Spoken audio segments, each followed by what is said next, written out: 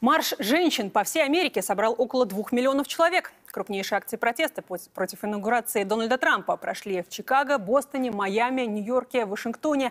Улицы буквально превратились в реки, причем окрашенные в розовый. Такого цвета протестующим раздавали шапки. В толпе было немало звезд, и больше всех отличилась певица Мадонна. Ее крепкие выражения попали в эфир. Подробнее Павел Матвеев.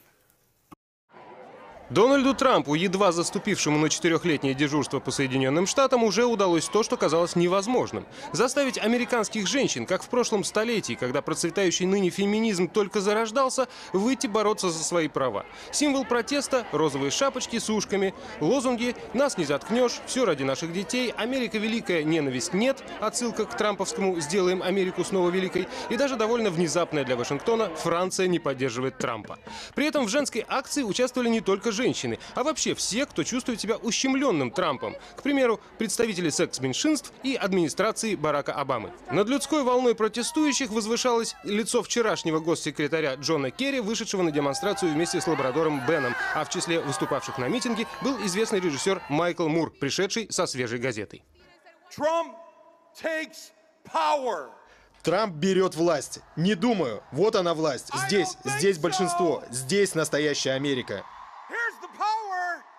Акция собрала немыслимое число участников. В одной только столице полмиллиона. Или вот сухие, более конкретные и весьма показательные цифры. К 11 утра, то есть к началу мероприятия, Вашингтонским метрополитеном воспользовались 275 тысяч человек. В день инаугурации Трампа к тому же часу подземка перевезла 193 тысячи. Причем качество не уступало количеству. От знаменитостей рябило в глазах. Хиллари Клинтон не пришла, только выразила поддержку в Твиттере. Зато были Шарлиз Терон, Шер, Алиша Кис, Скарлетт Йоханссон, наконец, сама Мадонна. Впрочем, об участии последней организаторы не исключено пожалели. У поп-дивы, провозгласившей, цитата, «революцию любви против тирании», довольно быстро закончились цензурные слова.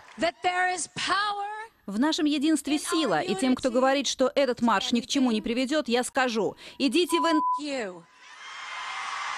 Когда звезда выругалась вторично, звук телетрансляции приглушили, а ведущая извинилась, мол, это же Мадонна, кто же знал, что у нее на уме. Но за этим исключением акция обошлась без хулиганства. Никто, как накануне, не бил витрин и не переворачивал урн. Женский марш есть женский марш. Та же картина наблюдалась и в других городах при не менее захватывающей явке. 150 тысяч в Чикаго, 125 в Бостоне, сотни тысяч в Лос-Анджелесе. Припорошенные снегом митинговали даже на Аляске.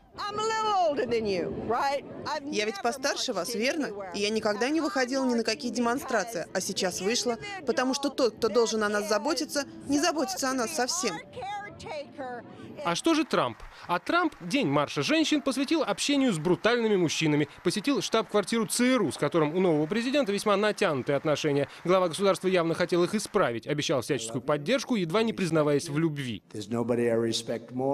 Никто не испытывает таких сильных чувств к разведывательному сообществу, как я. Никто не уважает вас больше, чем я. Я всецело с вами. Потом президент жаловался разведчикам на нечестные СМИ, приведя, в частности, свежий пример. Газеты написали, что в день инаугурации Трамп велел убрать из овального кабинета бюст Мартина Лютера Кинга, а он, как выяснилось, и ныне там. Павел Матвеев, Кирилл Данилов, Алексей Михайлов, Первый канал.